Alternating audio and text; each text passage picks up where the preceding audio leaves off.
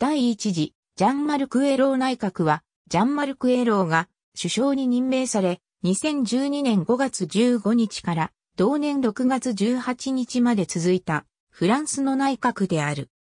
フランス第五共和制下における35代目の内閣であり、フランソはオランド大統領政権下における最初の内閣である。2012年5月6日、大統領選挙の第2回投票が実施され、社会党所属のフランソはオランドが国民運動連合所属で現職のニコラ・サルコジを下して当選した。5月10日に第3次フィヨン内閣は総辞職し、同月15日にオランド新大統領が就任すると、社会党所属の国民議会議員で、国民議会社会党会派会長のジャンマルク・エローを首相に任命して新たに組閣を命じ、第一次エロー内閣が成立した。ジョスパン内閣以来10年ぶりとなる社会党内閣である。5月16日、オランド大統領はエロー首相の提案に基づき、首相以外の閣僚を任命した。5月17日、新内閣の初めての閣議が開催され、以下のことが取り決められた。2012年6月、国民議会選挙が実施された。第一次、エロー内閣からは25人の閣僚が出馬しており、エロー首相は選挙で落選した閣僚には辞任を求めていた。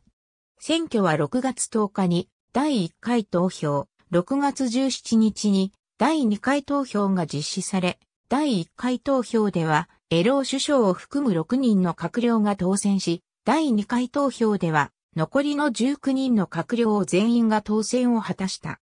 選挙の結果、社会党を中心とする左派勢力は先の大統領選挙に引き続き勝利を収めたが、選挙後の6月18日に第一次エロー内閣は慣例により総辞職した。同日、オランド大統領はエロー前首相を首相に再任して新たに組閣を命じ、第二次エロー内閣が成立した。第一次エロー内閣はエロー首相と18人の大臣並びに16人の担当大臣により構成される。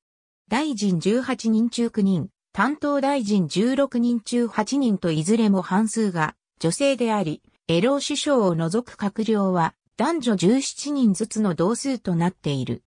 これはオランド大統領の選挙公約に従ったものであり、閣僚が男女同数となるのはフランスの内閣として初めてのことである。しかし、重要ポストには依然として男性が就任していると AFP は論評している。